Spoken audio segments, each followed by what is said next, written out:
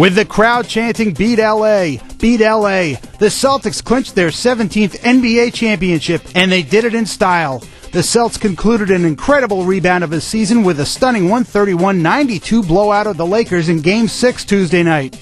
The Celtics obliterated the Lakers, who were trying to become the first team to overcome a three games to one deficit in the finals. Boston's 39 point win surpassed the NBA record for the biggest margin of victory in a championship clincher. The Celts beat the Lakers 129-96 in Game 5 of the 65 NBA Finals. Even Kobe Bryant couldn't solve Boston's suffocating defense.